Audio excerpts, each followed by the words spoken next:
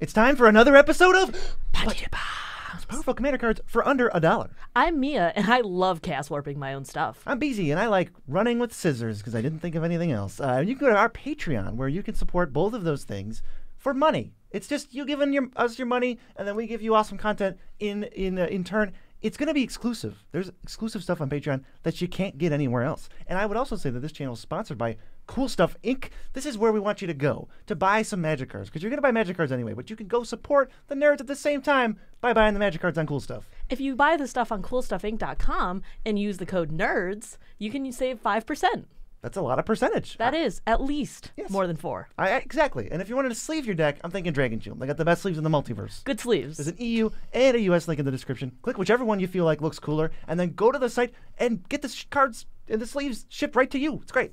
We're also sponsored by Moxfield.com. There's going to be an ad somewhere in the video, and you won't be able to guess where it is. And if you guess, you lied.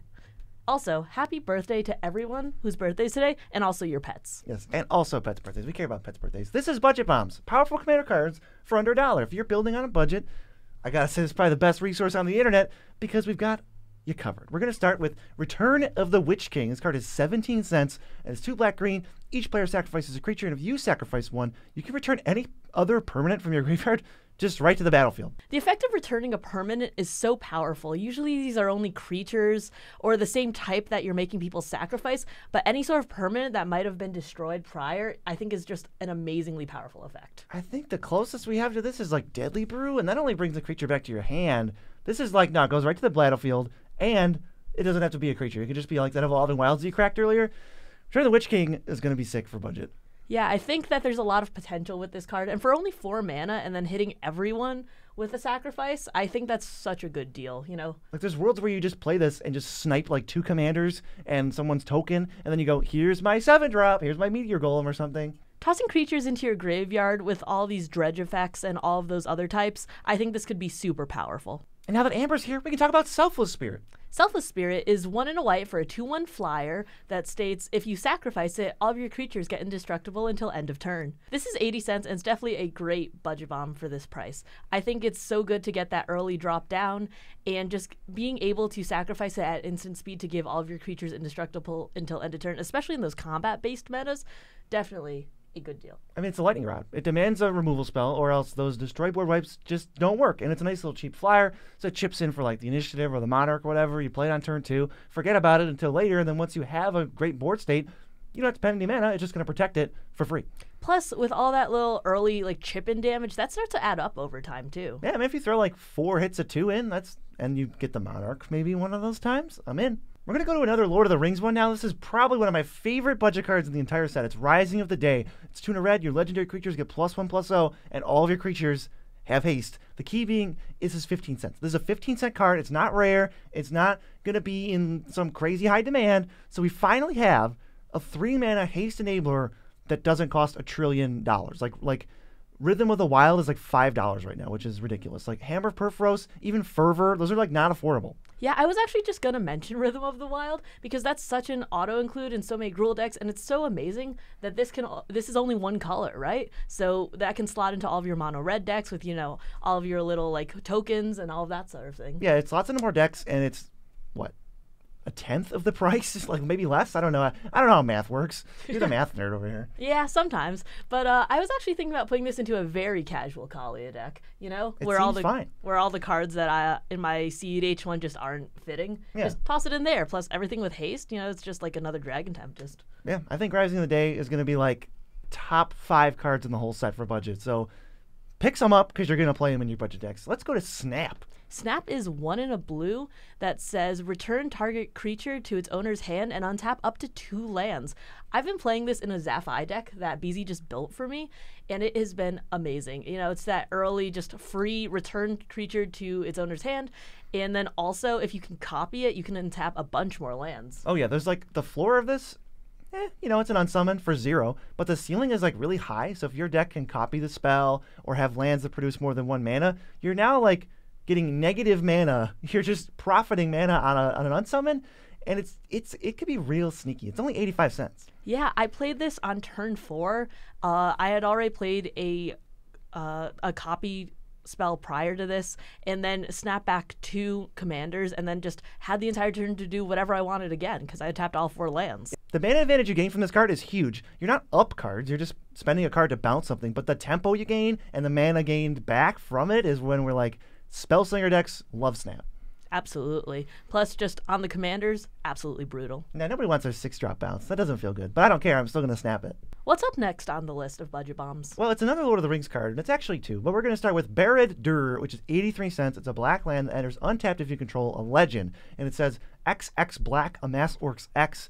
If a creature died this turn, the thing that I'm looking at with this card is does it do anything? Oh, yes, it does do anything sometimes. Does it enter untapped all the time? Well, pretty much, unless you control a legendary creature. That's pretty much all the time. We're playing Commander. That's the legendary creature format. So this is kind of a swamp that just sometimes makes a token for three or five mana if a creature died this turn. In a lot of black decks, that doesn't seem that difficult. Yeah, I think that these, especially in budget, are going to be a real powerhouse. I'm excited to play all five, and I was hoping that the whole cycle was going to be less than a dollar, but they're not. Only the black and the red ones are. The red one is Mines of Moria, which is 80 cents, and it can pay four and exile some cards from your graveyard to make treasure tokens. That's a nice little buildup of mana. If you don't have anything to do the turn before, you can maybe pseudo ramp into like an eight drop or two five drops the next turn. Again, it's a red land that almost always enters untapped. Why wouldn't we play that if it has upside? Yeah, I think that these. I wish, as you said earlier, I wish that the rest were budget friendly too. But I think these will go up in price once people realize how absolutely powerful they can be, especially in the lower power levels. Could just be an issue of like the demand is not that high and the supply is ridiculous because everybody cracked a million boxes of this uh, set.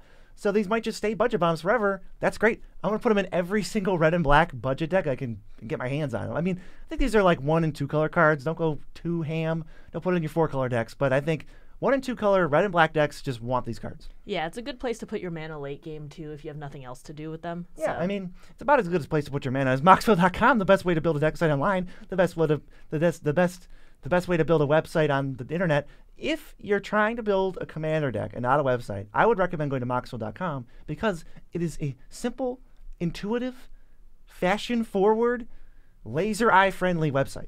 Laser eyes on the full moons only. However, you know what you can do every single day? You can update to cheapest, where we are building budget decks, sometimes $20, sometimes $50. But either way, moxfield.com is how we're able to track those prices. Yeah, you can build a budget deck without having to update everything or keep an eye out or go, well, the deck says $68, but really I built it for 20 and only you know that? No, everybody knows that. If you just update to cheapest, it's like click three buttons, click three little tabs, and then you're all set. And the deck is completely updated and it saves you probably days of work. Yeah, I don't think I could build budget decks without moxfield.com. I don't think you could either, so get over there. Absolutely.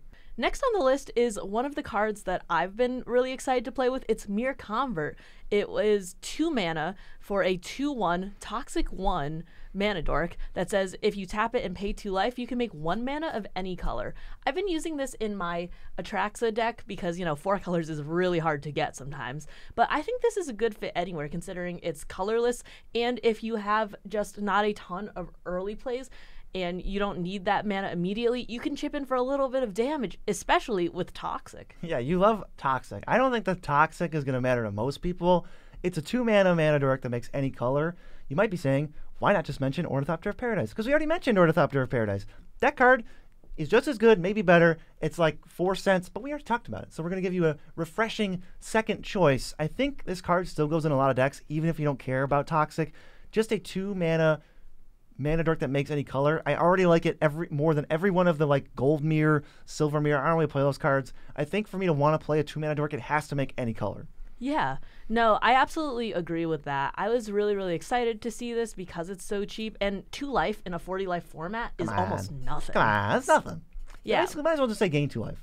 Two life in the long run of a commander game means almost nothing when you can gain that back just as easily with certain things like an extort trigger. Yeah, it's well worth ramping with two. If you have synergy, obviously this card goes up. Like caring about artifacts, caring about creatures. That's when you want to play this over like a signet or a talisman. Let's go to Neurok Stealth Suit. This is a two mana equipment. Equips for one. The equipped creature has Shroud, but the little trick here is you could pay blue blue at instant speed to attach it to a creature you control. So this is 85 cents, and it's a weird little equipment that Mia plays that I kind of forgot about. No offense to Nur- Neurok Stealth Suit, but what it gives you, aside from being budget, because Lightning Greaves not a budget card, so this is going to be played alongside or instead of Swiftfoot Boots. But what it gives you instead is the ability to instant speed equip it. But the fact that it's blue kind of helps because you might go, well, I don't want to hold up two mana to just do that. But you hold up two mana to either play a counter spell or your snap, or if someone targets one of your creatures, you throw a Neurok Stealth Suit on it. And what it actually means when you pass with two mana up is that no one's going to target your stuff. I think it's really tricky, and I really like the stealth suit because it's the instant speed. You know, it's like the cranial plating of, ooh, maybe I should swing with this. And then, oh no, it's actually equipping it at instant speed. It's like, oh, maybe it's over here. Well, guess you forgot about it. Gotcha. Yeah. You gotta pay attention to this one.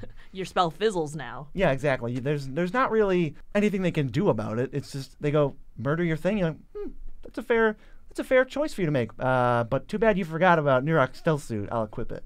Yeah, plus there's so many instant speed two blue spells that I am just like, oh, if I see you pass with that, it's not even just the counter spell, there's snap. There's so many other ones where I'm just like, ooh, better look the other way. Yeah, I think if you have a lot of instants and ways to spend two mana, this is a card that'll be even better than uh, Swiftfoot Boots because it'll basically say your entire team has Shroud. Yeah, and I play this in Jon Irenicus, uh, and that was definitely a good pick for it because it is a twenty dollar budget. But any any commander that really demands an answer, and also you can keep that double blue up, I think really could use this card. Yeah, let's go to the next one. It's another Lord of the Rings card, but this is one of my favorites. What is it? It's Taunt from the Rampart. It's three red white that says go to everything, and the creatures that you go to can't block. It's 77 cents right now. This is just kind of like disrupt decorum on some sort of performance enhancing drug.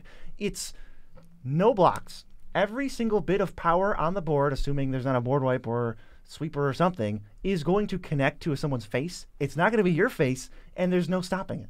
I'm really excited to put this in my Baloth Noble Heritage deck. There's already so many good payoffs for combat there, like like goading everything with the commander itself, but making sure that they can't block. That means it's just going to someone's face or someone's planeswalker or something like that. It's just to end games. Like I, this card feels like a win condition. There needs to be an answer for it. Like if I play this and make it so that all our creatures are threats now, and someone else wipes the board, none of my creatures were even the ones threatening the damage. I could have no creatures in that exchange and be thrilled. Are you putting the, this in Liara Porter? I'm putting this in every Boros budget deck I can. I feel like this is just going to be like an I win button, especially for budget. You know, where the boards get clogged and the games are a little slower. This is what I'm like excited about. I'm really excited to test this out. I'm going to stick with the theme of messing with all your opponents with Dismantling Waves, 96 cents, and it's two and a white. And for each opponent, you get to destroy an artifact or enchantment they control. And there's even another bonus. Besides just being a straight up three mana sorcery speed, three for one, you can cycle it for six white white at instant speed to discard it to draw, and then just destroy all artifacts and enchantments, which could just tech take some decks off the map entirely. You know, I've been playing Druid of Purification, one of your favorites, but this is another amazing three for one that I'm excited to try in some of the budget decks. There's so many sticky artifacts and enchantments that I would just love to get rid of, and I have single target removal for like one in a white, like Disenchant. Yeah. But three for one? That's even better. That's amazing. Yeah, you lose instant speed, but oh man, I just compared this card to like Krosan Grip in my head, and it's like, all right, instant speed, guaranteed. You take out one thing and they can't respond. It's like, or you could slow it down to sorcery speed and get triple the effect. That to me is worth going down to sorcery speed, and also I don't even like Krosan Grip. Yeah, I'm not a big fan of like downgrading instant speed to sorcery speed, but when it's two extra targets for one more mana, I think I can live with it. Yeah, it's like I'll, I'll be all right. I'll dry my tears. I'll put in another instant speed thing somewhere. How about Fiery Inscription, Mia? Fire Inscription is tuna red for a gutter snipe like effect, and the ring also tempts you. Yeah, it's an enchantment that just zaps everybody for two whenever you play an instant or sorcery. Can you say Spellslinger? Uh, absolutely. I might actually slot this into the Zaffai deck that we were just talking about. Amber's being just a complete gremlin right now. Get out of here. She's so disruptive, but we can talk about how disruptive Fiery Inscription is going to be on your opponent's life totals when you chain Snap into Opt into Vandal Blast or something, and then they all just take six damage, which you're doing 18 damage for three spells in that scenario. How about don't, Storm decks? yeah, storm decks are going to be where you want the storm, spell slingers, anything that you can cast. uh, Like, man, this is so funny that we mentioned snap because it's going in every one of these spell slinger decks. I'm just like, wow, you can cast a spell, get an effect, trigger something, and then not have spent any mana. That's perfect. Yeah, plus the fire inscription plus the gutter snipe effects, if you have them both in the same deck, that four damage per spell for each opponent, that's nasty. That adds up over time. Ten Not, of those not very much time. Yeah, ten of those, your opponents are dead. Yeah, th- it's six damage every time you cast a spell. Excited to pay 15 cents for this one. Also excited about Tireless Provisioner. It's 94 cents. First ever appearance on the budget bombs. It is two and a green for a 3 2, and lands entering the battlefield will give you either a food or a treasure. It's Tireless Tracker, but for the other two main artifact tokens. Basically, you're always going to make a treasure, but you have the option to make a food if you're like super low on life for some reason. This card's better than Lotus Cobra. It's a green staple in landfall, and it finally fell down below a dollar. BZ was so excited when this became a budget bomb. I was pretty hyped. But I'm so surprised that it actually is a budget bomb right now with all the food synergies in Lord of the Rings. Yeah, it might not even be a budget bomb by the time this comes out. We're recording it like a day before it's supposed to come out. It might not even be a budget bomb, but it is right now. It's 94 cents. I'd you be should surprised. buy it anyway. Yeah, I'd be surprised if it stayed a budget bomb right now. Yeah, exactly. So get your tireless provisioner, put it in your landfall deck, put it in your food deck, put it in your treasure deck. Be happy about it. Next on the list is Junkwinder. It is five blue blue uh, with the affinity for tokens. It's a five six that says whenever a token un- enters the battlefield under your control, you can tap an opponent's creature and it doesn't untap during its untap step. My friend has a Jaheira uh, deck with a blue background. And it has been absolutely brutal in that. This is his pet card. I went, ooh, seven mana. That's like a lot for this. But no, when your entire board is iced down just because of a few foods or a few treasures, you will be sorry later. And then you also go, oh, it's two mana. It's not seven mana. Two mana, five, six. 18 cents. Tap all my stuff. You have to basically answer this in the lower power combat budget metas, which is, of course, what we're talking about. We're playing budget. In the games where the board gets clogged up, you can kind of bully a player out. You go, ice your thing down, ice your thing down, ice your thing down, attack you. You can't retaliate. And everyone else has the same option of like, would I just want to kill this person? Sometimes they do. Yeah, it's a it's a powerful card. You can uh, make enemies really really quick, especially if you can get those tokens out super fast, because then you're just icing down everyone's board. You don't have to just pick one player. Yeah, you can kind of mix and match with Junkwinder. I like Junkwinder. I also like Bushwhack. And the reason I like Bushwhack is because it is going to be honorarily inducted into the MDFC Hall of Fame. This is 29 cents. Mia may disagree. It is green. Search your library for a basic land, put it into your hand, or target creature you control fights a creature you don't control. How is that not an MDFC?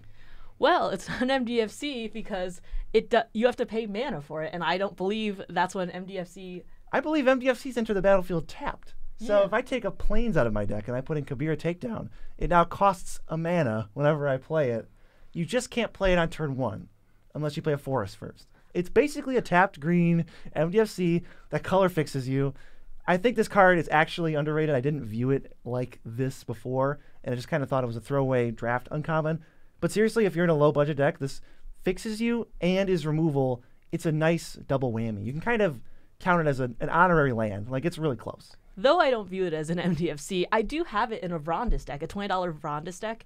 And it has been amazing in that because it's either get the land that you need super early, because, you know, if you're just trying to find your mountain or something, you just color fix really easily, or it's just the fight spell. And you and I've been able to get tokens from that, you know, oh, Vrondiss, fight that, you know, 2 2 over there. Get a 5 4. Yeah, it's been absolutely amazing in the decks with synergy with it. Some decks really want it. Some decks are going to be like, oh, I'm the fight deck. But I'm talking about if you're playing a green budget deck, I would consider this period. It's actually pretty good. Not an MDFC though. Let me just let me just make that pretty real sure clear. It's an MDFC. mm-hmm. I think it's from Zendikar Rising, right? Yeah, yeah, yeah. We'll uh, we'll check that on Scryfall later. Yeah, we'll check it out. Next on the list is Tivit, Seller of Secrets, for three white, blue, and black for a five-five that says when it enters the battlefield or hits a player, you the entire table votes. They can either give you a clue or a treasure, and you always vote twice. I'm actually surprised to see this in budget bombs because I've seen it pop up once or twice in CEDH. It says, okay, this card's actually just like dirty. It's super good, doesn't look good. It's 51 cents. This card makes itself four votes for four permanents and then an additional vote for you. You get six permanents for six mana. So this is like secretly an artifact card, I think. You're going to get probably two treasures. That's what you want.